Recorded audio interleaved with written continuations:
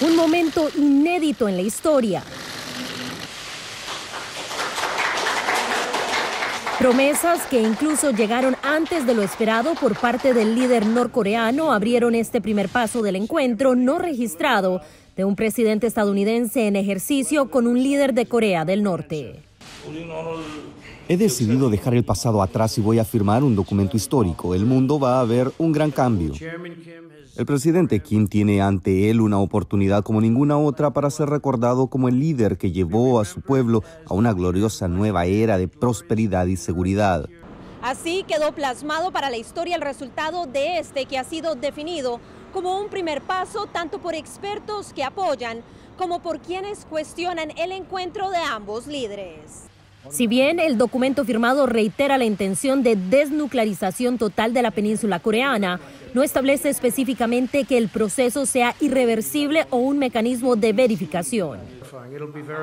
Será verificado, será logrado a través de muchas personas allá y mientras desarrollamos cierto nivel de confianza. El secretario Pompeo ha hecho un trabajo fantástico.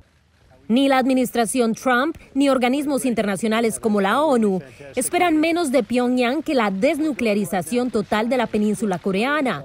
De ahí la trascendencia de lo que los próximos encuentros entre altos funcionarios de ambos países establezcan mecanismos de verificación y de no repetición. Esto es una completa desnuclearización de Corea del Norte y será verificada. Además de aparecer en igualdad de condiciones frente al presidente estadounidense, Pese a su cuestionado récord de violaciones a los derechos humanos, Kim Jong-un se llevó una promesa de Donald Trump como contrapartida por su promesa de desnuclearización.